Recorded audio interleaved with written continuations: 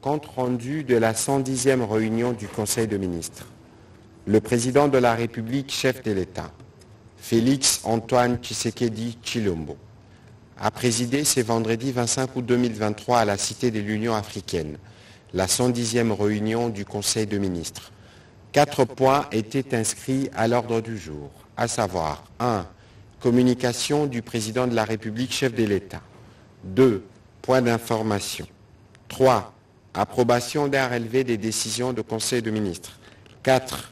Examen et adoption de textes. La communication du président de la République a porté sur quatre points principaux, à savoir du clave du génie scientifique congolais. Le président de la République est revenu sur la première édition du conclave du génie scientifique congolais en l'honneur de nos chercheurs évoluant au pays comme à l'étranger, qu'il a inauguré le 19 août 2023. Il a indiqué que cet événement rappelle à l'État son devoir constitutionnel de garantir l'initiative privée et surtout de veiller à la protection et à la promotion de l'expertise nationale. C'est donc à juste titre que celles et ceux de nos compatriotes qui se sont distingués par leur inventivité devraient mériter l'attention du pouvoir public et la reconnaissance nationale pour leur engagement, souvent dans des conditions difficiles, pour l'amélioration des conditions de vie de leurs compatriotes.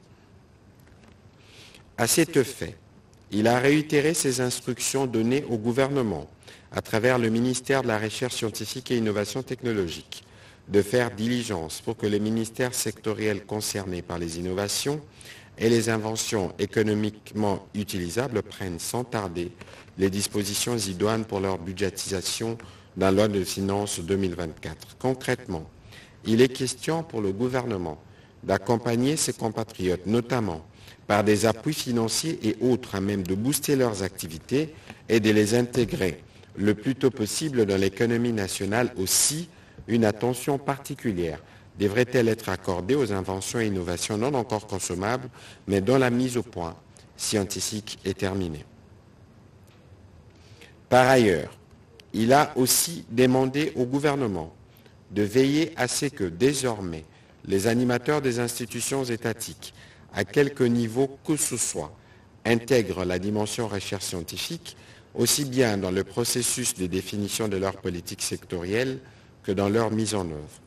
À cet effet, les ministres ayant dans leurs attributions la recherche scientifique et l'enseignement supérieur et universitaire ont été instruits de promouvoir et de soutenir dans la transparence et l'équité les centres de recherche au sein de nos établissements d'enseignement supérieur et universitaire afin de redynamiser et d'améliorer qualitativement les services à la communauté dus par l'université et ce en phase avec les enjeux et défis tant nationaux qu'internationaux du moment. Le deuxième point de la communication du président de la République a porté sur l'exploitation de la filière du cobalt en République démocratique du Congo. Le président de la République a rappelé que notre pays figure parmi les pays disposant des plus grandes ressources en cobalt au monde. Ces minerais, essentiels à la transition énergétique verte et à de nombreuses industries, fait l'objet de convoitises, notamment des multinationales spécialisées dans la haute technologie, voire dans l'industrie automobile. À l'heure où le volume d'exploitation du cobalt croît exponentiellement et que la technologie se veut centrale dans nos sociétés, il est curieux de constater que notre pays, malgré ses potentialités, ne tire que très peu de profit de son exploitation brute du dimétal, contrairement aux multinationales qui enregistrent de chiffres records grâce notamment à la, vente d'artefacts composés entre autres de ces minéraux stratégiques. Dans le même temps, la valeur de ces multinationales a fortement augmenté et leur capitalisation dépasse de loin le produit intérieur brut de notre pays.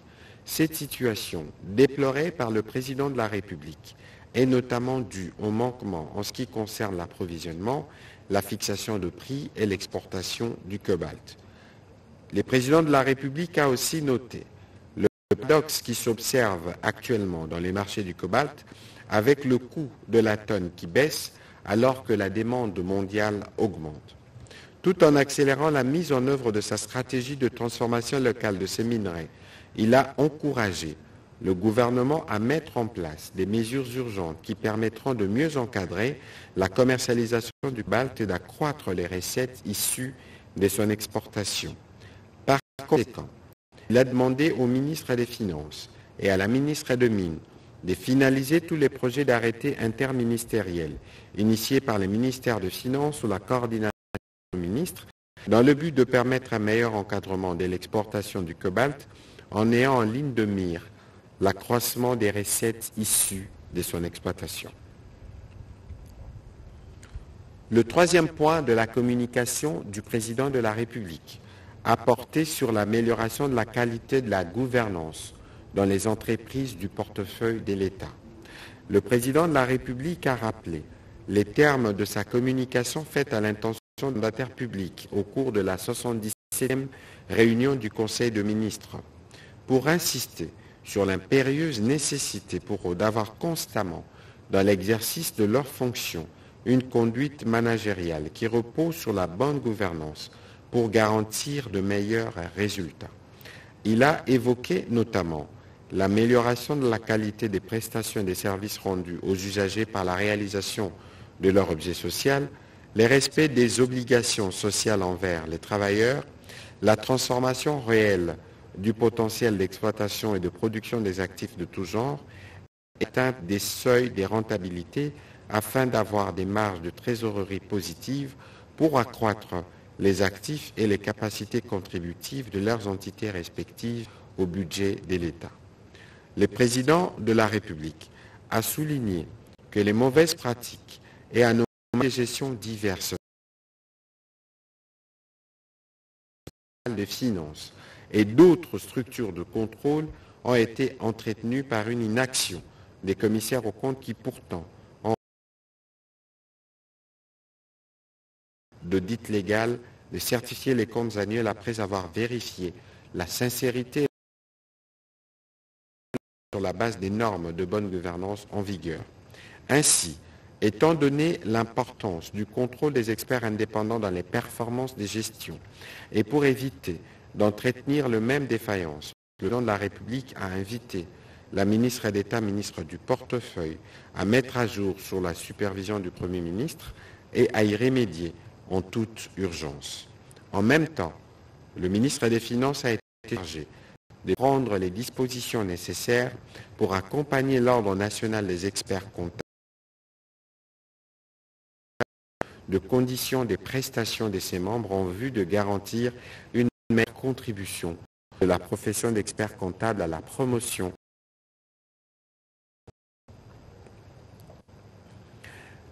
Le dernier point de la communication du président de la République a porté sur le soutien présidentiel aux micro-entrepreneurs nationaux. Le président de la République a dit sa satisfaction quant aux efforts entrepris par le gouvernement dans l'opérationnalisation des établissements local, notamment aux micro-entrepreneurs nationaux, conformément à sa vision de concourir à l'émergence d'une classe moyenne en République démocratique du Congo qui servirait en même temps, tel qu'observé sous d'autres cieux, des bases socio-économiques susceptibles de favoriser l'accélération de processus de développement de notre pays. Il s'agit notamment du Fonds de garantie de l'entrepreneuriat au Congo FOGEC, l'Agence nationale de développement de l'entrepreneuriat congolais ANADEC, l'Agence de promotion de la classe moyenne congolaise APROSEM, ainsi que de l'Autorité des régulations de la sous-traitance dans les secteurs privés ARSP. Il a rappelé son admiration face au dynamisme, à la créativité et à l'esprit combatif des jeunes répertoriés dans chacune de nos provinces et de surcroît dans celles en proie à une situation sécuritaire précaire. Ceci se démarque notamment dans leur volonté affichée au quotidien de contribuer par l'entrepreneuriat à la constitution d'un tissu économique dense et diversifié, notamment dans les secteurs de l'agroalimentaire, du textile, des services, du courtage en assurance, à la location des véhicules de transport, des biens et des personnes, ainsi que dans diverses activités de la sous-traitance aux grandes sociétés multinationales installées dans nos différentes provinces, entre autres.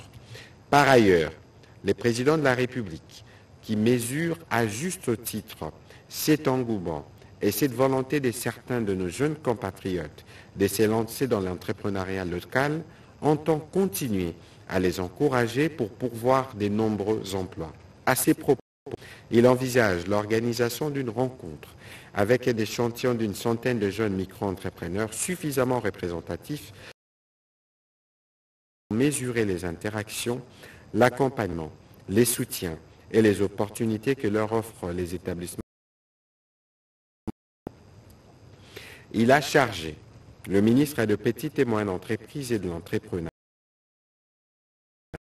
cette rencontre au mois d'octobre prochain en collaboration avec ses services.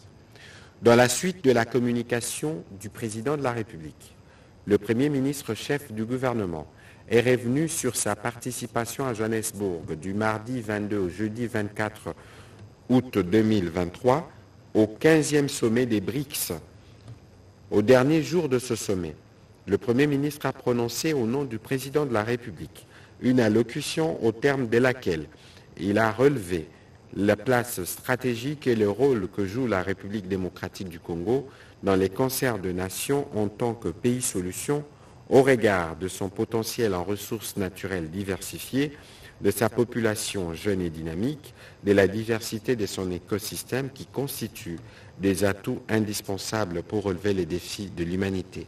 En marge de sa participation à ces sommets, il a eu quelques rencontres bilatérales fructueuses notamment avec le président de l'Indonésie, celui des Comores et président en exercice de l'Union africaine et un ancien premier ministre de l'Haïti, ainsi que le ministre des Affaires étrangères de la Biélorussie.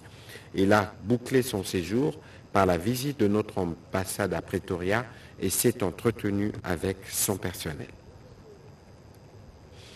Au deuxième chapitre du Conseil de ministres de ce jour, relatif au point d'information, le vice-premier ministre ministre de l'Intérieur, Sécurité et Affaires coutumières, a présenté au Conseil le rapport de l'État et de l'administration du territoire national. Au cours de la semaine qui se termine, l'état d'esprit de la population a été marqué notamment par la montée du regain d'intérêt de la diplomatie occidentale vis-à-vis de la République démocratique du Congo, attestée par la visite des membres du Congrès américain à Kinshasa et dont la déclaration de pouvoir renforcer le partenariat entre les deux pays a suscité des commentaires au sein de l'opinion nationale. La mise en place par la Commission électorale nationale indépendante d'un cadre d'échange dénommé Maison des élections dans les intérêts et de permettre au public et aux médias de suivre les étapes du processus électoral. Sur un autre volet, le vice-premier ministre de l'Intérieur, Sécurité et Affaires coutumières a informé les conseils des efforts continus pour endiguer la criminalité et le banditisme urbain et de restaurer l'autorité de l'État. Il a fait mention de quelques catastrophes et autres sinistres observés à travers le pays, notamment au camp des déplacés des Kichouchou, dans la province de Maniema, où plus de 90 maisons ont été détruites par la pluie torrentielle à la cité des Salades. Le vice-premier ministre, ministre de l'Intérieur, Sécurité Affaires coutumières, a rassuré le Conseil que toutes les dispositions ont été prises pour faire face à ces différentes situations. Abordant le même chapitre, le vice-premier ministre, ministre de la Défense nationale et ancien combattant, a quant à lui fait le point de l'évolution de la situation sécuritaire dans l'Est du pays où nos forces sont engagées en opération. Il a passé en revue la situation opérationnelle sur terrain ainsi que quelques faits saillants en adéquation avec la nature des menaces selon les provinces et les parties du pays en proie à la sécurité ou à l'agression.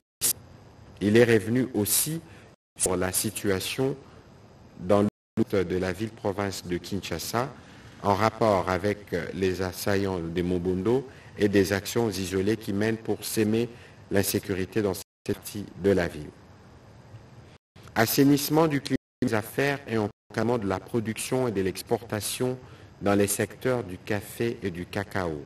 Le vice-premier ministre, ministre de l'économie nationale, a fait part au Conseil des plaintes reçues des exportateurs locaux du café cacao qui dénoncent les perceptions illégales et autres tracasseries fiscales et administratives qui s'opèrent à l'exportation de leurs produits rappelant la recommandation du président de la République faite au cours de la 58e réunion du Conseil de ministres relative à la nécessité du renforcement du climat des affaires dans les secteurs du café-cacao et autres produits agricoles, le vice-premier ministre l'économie nationale a rappelé qu'il est inadmissible que les efforts louables de production soient négativement affectés par une série de prélèvements parafiscaux et d'exigences administratives tout aussi illégaux qu'opportuns. En effet, ces tracasseries généralisées entraînent l'augmentation de la fraude et de la contrebande et portent préjudice non seulement aux producteurs mais aussi à l'État qui perd d'importantes recettes au profit des pays frontaliers qui comptabilisent la production congolaise au titre de leurs exportations. En vue de régler ces difficultés, une série de mesures a été préconisée et le Conseil a pris acte d'information. Recommandation du gouvernement pour la relance du projet chemin de fer Kinshasa-Matadi et l'état des lieux du dossier ONATRA SA et ARAIS. Faisant suite à la communication du président de la République faite au cours de la 107 réunion du Conseil de ministres, la ministre d'État, ministre du portefeuille, a fait les rapports d'examen du dossier ONATRA SA et ARAIS relatifs au partenariat public-privé pour la réalisation du chemin de fer Kinshasa-Matadi. Les discussions continuent entre les différentes parties prenantes les MOU qui a été conclu pour la finalisation de ce projet qui permettra d'atteindre les objectifs assignés. La ministre d'État, ministre du portefeuille, a été complétée par le ministre des Transports, voie des communications et des désenclavements.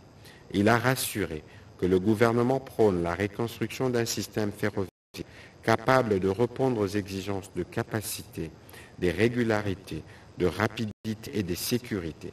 Ces performances visent l'attractivité du chemin de fer dans les secteurs les plus porteurs des valeurs ajoutées. Le ministre de Transport, voie des communications et des enclavements, a conclu son intervention en soulignant qu'il est question pour le gouvernement de faire du sous-secteur ferroviaire un élément fondamental de l'intégration de transport de masse au niveau urbain, national et régional, et ce, en articulation et en complémentarité avec le réseau routier aérien lacustre et maritime. Le Conseil a pris acte de ce rapport. Cinquième point dans ces chapitres de points d'information. Défi d'exécution de programmes financés par les bailleurs. Le ministre des Finances a informé les conseils que les portefeuilles de projets financés par la Banque mondiale s'est considérablement accru depuis l'avènement aux responsabilités du président de la République, ce qui illustre à la fois le progrès accompli et les défis rencontrés dans la mise en œuvre des différents projets. Il a indiqué que les portefeuilles de projets financés par la Banque mondiale, qui s'élevaient à 2,5 milliards de dollars pour l'année fiscale 2018, est aujourd'hui de 8,5 milliards avec 5 milliards de dollars non encore décaissés. L'un des défis consiste, d'après le ministre des Finances, à s'assurer que l'orientation stratégique de projets, depuis leur identification jusqu'à leur exécution, répondent avec la plus grande pertinence aux priorités structurelles du pays en cohérence avec les autres dépenses effectuées sur ressources propres. L'autre défi concerne la maîtrise des modalités des mises en œuvre de projets financés par les ministères sectoriels à travers les unités de coordination de projets. Il est crucial d'assurer une bonne répartition et une maîtrise des rôles entre les instances politiques et les unités de coordination de projets. Il s'agit d'éviter le double risque d'ingérence politique inappropriée d'une part et d'abandon des unités à elles-mêmes d'autre part. Le ministre des Finances a aussi épinglé les différents points de blocage, mauvaises pratiques pour permettre d'accélérer la mise en œuvre des différents projets et en maximiser l'impact.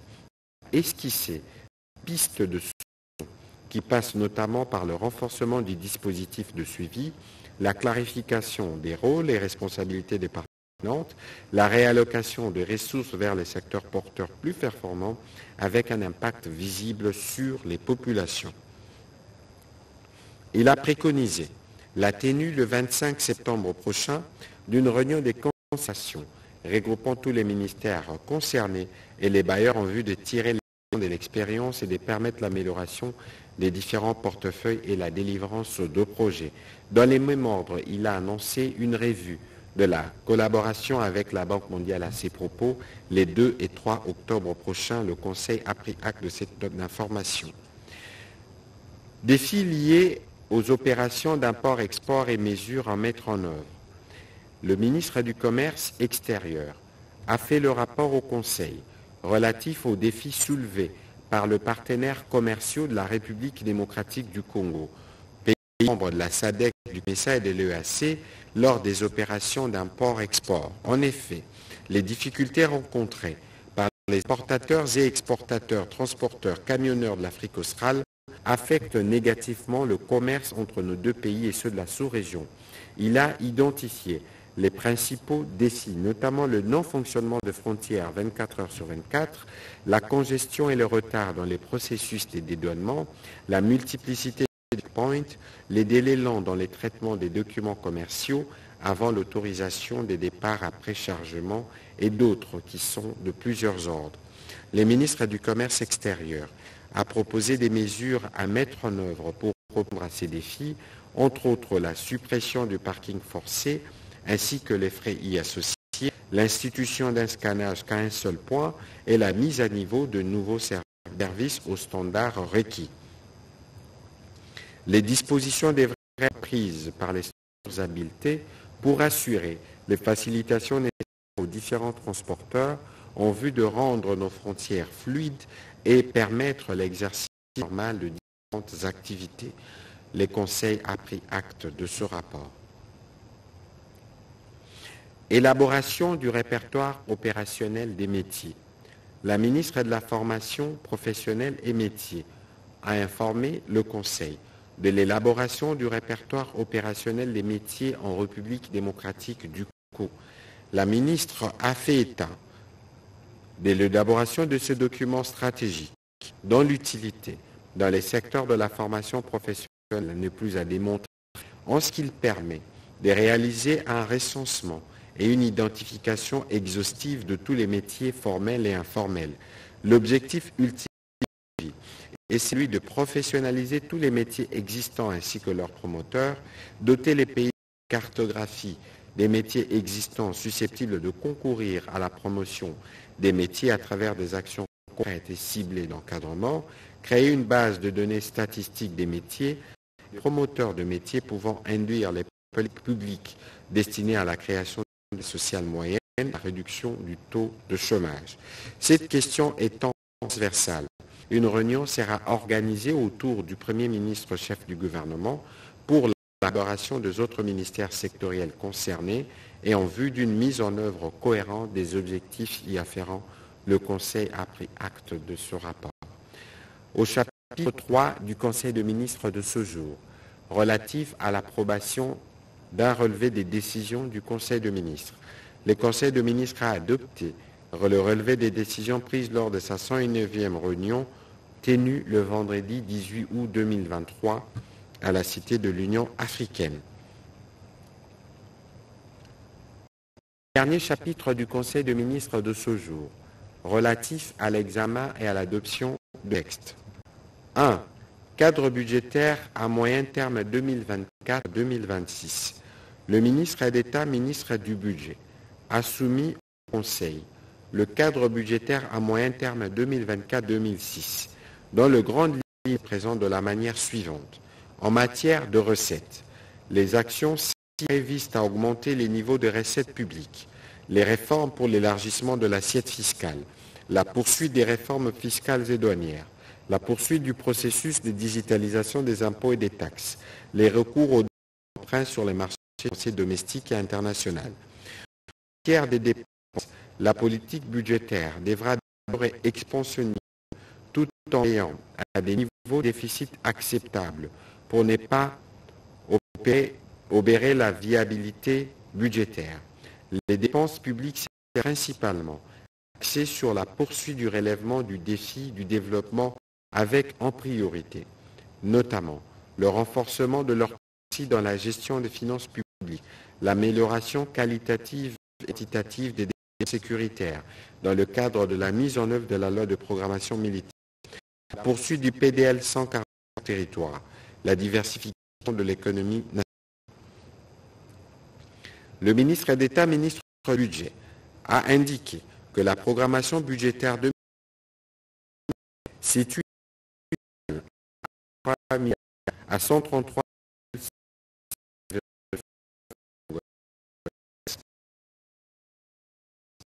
milliards de 24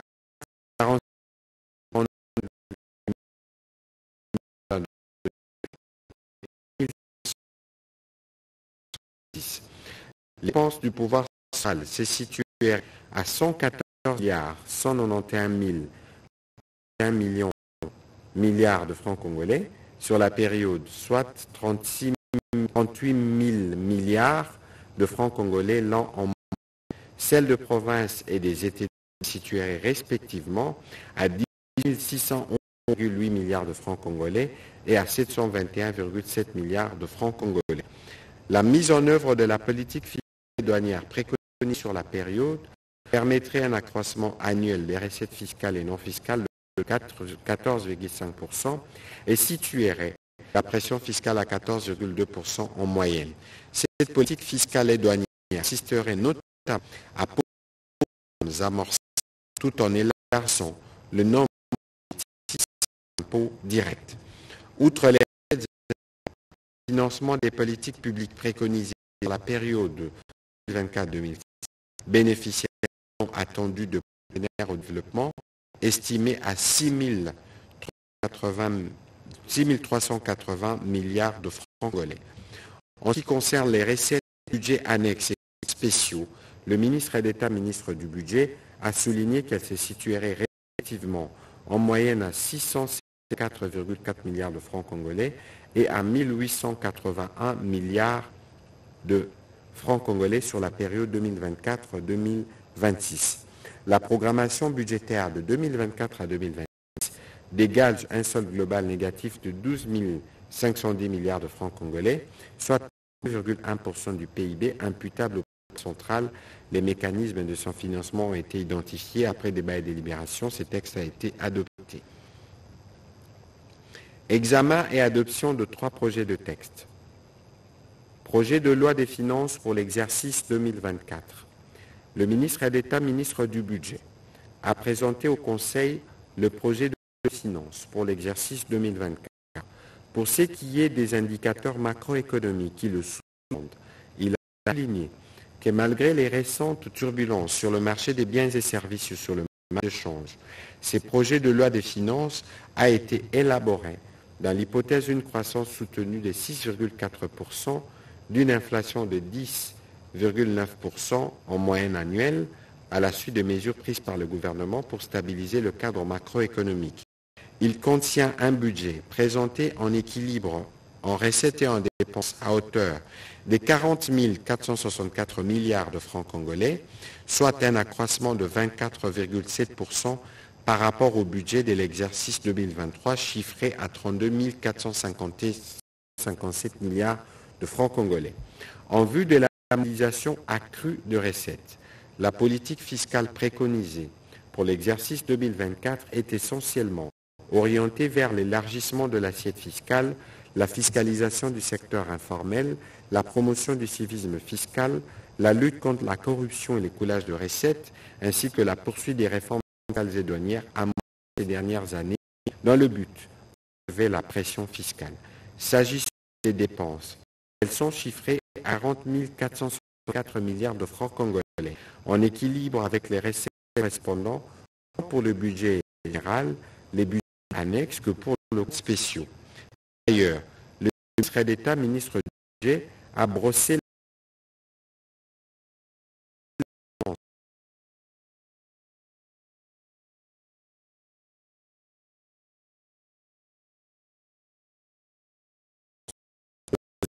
par rapport à leur niveau de 2023, entraînant ainsi une amélioration de sa part dans les budgets généraux de 35,8% en 2023 à 49,6% en 2020.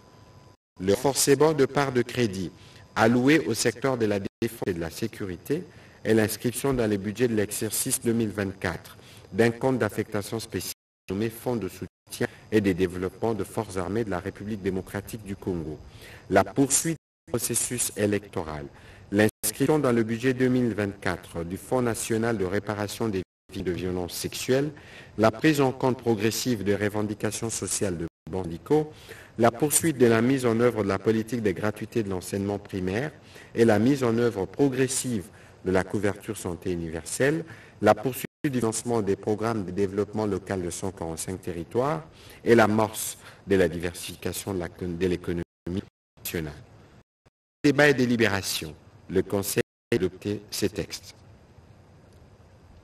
Deux projets de textes du secteur des finances. Les ministres des Finances ont présenté au Conseil deux projets de texte, notamment le premier, le projet d'ordonnance loi sur l'endettement public. Ce texte cadre des références du pilotage et de la gestion de la dette publique en République démocratique du Congo, énonce la politique d'endettement public et fixe les règles de bonne gouvernance de la gestion de la dette du pays. Il fournit également à l'État de instruments qui lui permettent de financer ses dépenses. Les deuxièmes textes relatifs l'information de crédit. Il a pour mission de fixer les règles relatives à l'activité et au contrôle des bureaux d'inflation sur les crédits en République démocratique du Congo, conformément aux dispositions de l'article 122.8 de la Constitution en vigueur. En effet, ces textes a l'avantage de participer à la réduction de la symétrie d'information entre les prêteurs et l'emprunteur, laquelle à son tour permet de pallier au rationnement du crédit, au long délai de traitement des demandes de crédit, aux intérêts exorbitants, au surendettement asphyxiant, ratio de portefeuille à risque élevé. Pour les gouvernements, les systèmes d'information sur les risques de crédit revêtent un intérêt capital pour le bon fonctionnement du marché des crédits, car ces systèmes permettront à la Banque centrale du Congo de mieux évaluer les niveaux de risque de contrepartie pesant sur l'ensemble du système bancaire. Après débat et délibération, cet autre texte a été adopté. Commencé à 14h18, la réunion du Conseil de ministres a pris fin à 19h23. Je vous remercie.